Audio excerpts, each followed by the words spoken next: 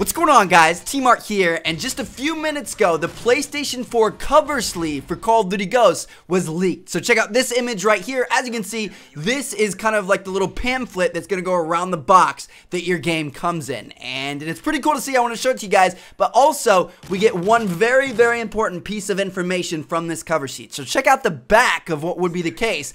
Look down there in that top right box, HDD required space is at least 49 gigabytes. Do you guys realize how big that is? For both Black Ops 2 and Modern Warfare 3 on the Xbox 360 and on the PS3, it required only 50 megabytes. This game requires over a thousand times more space to be able to play it. So that kind of puts it into perspective how amazing these next gen consoles are going to be and just know how much deeper they're going to be, how much more expansive they're going to be, how much better the graphics going to be and things like that. So that is just absolutely insane. That is the kind of thing that we have to look forward to. Now, in terms of other information we get from this, you know, obviously you can read the box. It's it's in Spanish. This is kind of one of the only times my 5 years of Spanish in high school has has really come uh, into play and becoming useful.